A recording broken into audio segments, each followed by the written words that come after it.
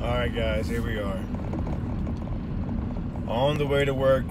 It's 5:05, running a little late, about two minutes. Um, but the route I'm taking, I can speed slightly to maybe make up the 35 to 40 minute, uh, 40 seconds. Uh, but today's topic: Does it matter if you're late by one minute or not to your shop?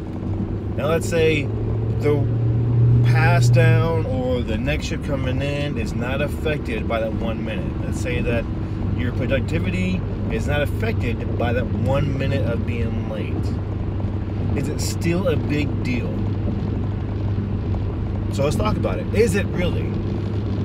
Well, and the, like I, like I said already, the aspect of um, productivity is zero. There's no difference. Um, meaning that the pass down you have uh, this, current application we have 30 minutes for a pass down. And typically what's needed is around 15 uh, minutes.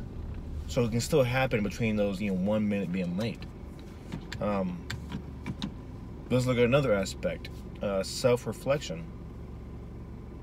If you're coming in late do you not care about coming in early are you not able to i think it's, it's the lack of care maybe that is more alarming.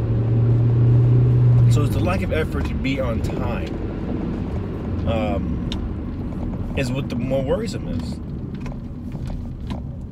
Like you, you might be the best worker in the the shop or in the you know the plant you're working in.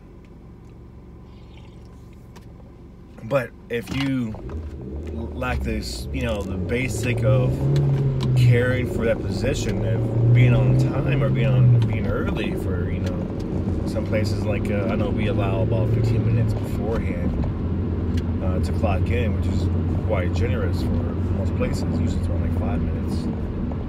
Um, and you don't take advantage of that.